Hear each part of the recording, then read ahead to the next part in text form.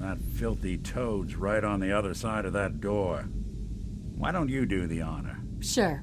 195 3728 406. The fuck?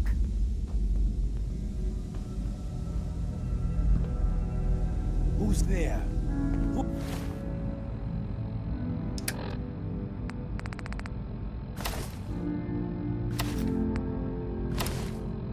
Who the fuck are you?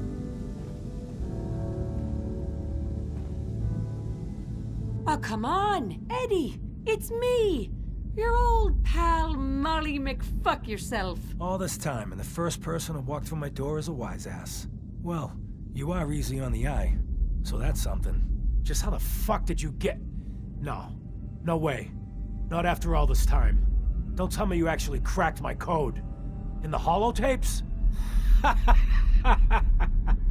well, hey. It's only been what? 200 years? well, look. I'm not sure what you thought you'd find. Gold, jewels, the secrets of the universe. But you get me. One guy. A ghoul, I guess you'd call me. Just living, surviving, and what I got, you can't have. That code? it was a joke. I just wanted to prove how dumb those feds were. Turns out, pretty dumb. So take your asses someplace else. I'm not going anywhere until I get what I came for. Yeah? And what's that? And who are you, huh? You look kind of familiar. But what are you, some kind of robot? Is that what it's like out there now? A world of robot overlords? I knew it. The name's Valentine.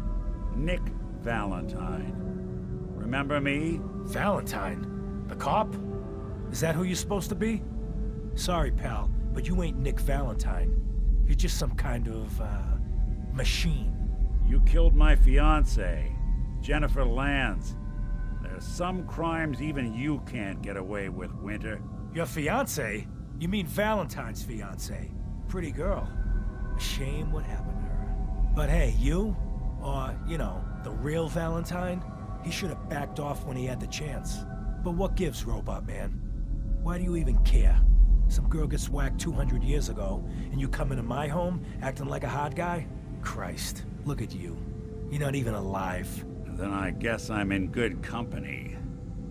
You're playing with the wrong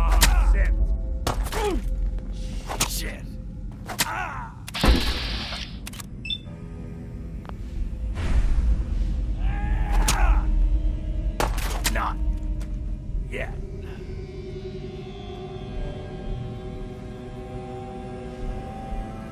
Done here.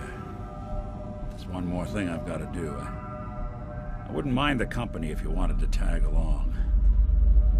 They're all gone.